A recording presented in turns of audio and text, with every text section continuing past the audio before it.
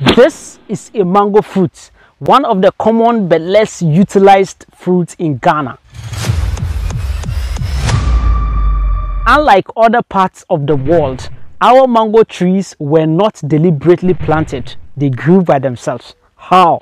Our land is so fertile to the extent that when you throw mango seed anywhere, they grow everywhere. So when I take a look at the south, the north, the east, the west, I see mango trees everywhere. And when you go to the market, you could have a big pound of mangoes selling at 10 cedis, somewhere 20 cedis, or even 5 cedis. It's so crazy.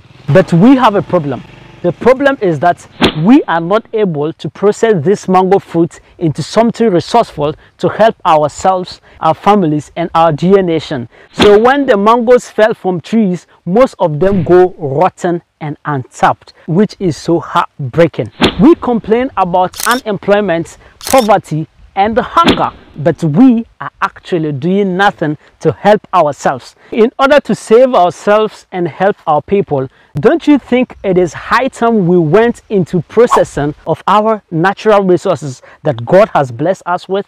Just like having a processing industry in the northern part of Ghana that could convert these mango fruits into amazing drinks that would serve our local and international markets. In view of this, whenever you see a raw mangoes, instead of being happy, you should be sad because we are tapping less from what Allah has blessed us with. Salam alaikum.